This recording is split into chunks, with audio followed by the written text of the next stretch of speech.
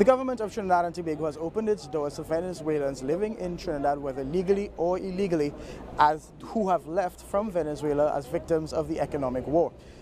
This means that they come here to Trinidad and they will be able to register to work for one year. This process began this morning just a few hours ago and hundreds, about 300 Venezuelans came in to register. There are two other points in the country, one in San Fernando in the south and one in Tobago. What we understand is once they register, they will be given a receipt and a card that gives them legal status here in the country.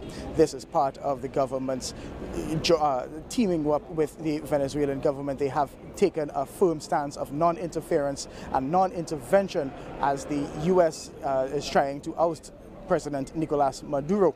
But the government says they are not going to tolerate that and have called for peace uh, between all nations. To the government of Trinidad and Tobago opening its doors now for the migrants who have come across seeking a better life until things get better in Caracas. Reporting from Port of Spain, Kejan Haynes, Telesur.